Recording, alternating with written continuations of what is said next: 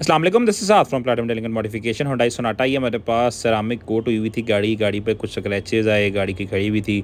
काफ़ी स्क्रैचेज आ गए गाड़ी के ऊपर छोटे छोटे आज आई हमारे पास मेंटेनेंस के लिए स्क्रैच रिमूवल के लिए एक्सटीरियर की मेंटेनेंस की है एक्सटीरियर का ग्लॉस इसकी शाइन इसके रिफ्लेक्शन आप देख सकते हैं। जो स्क्रैचेज़ आए, उनका ट्रीटमेंट किया, उसके बाद इसके एक्सटीरियर को रीस्टोर किया, एक बार फिर से, और एक्सटीरियर के रिजल्ट्स आपके सामने हैं। तो अगर आप अपनी गाड़ी की डिटेलिंग मॉडिफिकेशन रैपिंग या हमारी कोई भी सर्विस हासिल करना चाहते हैं तो मैं कॉल करके अपनी अपॉइंट बुक करवाएँ हमारा सेंटर विज़िट करें। थैंक्स फॉर वॉचिंग अल्लाह हाफिज़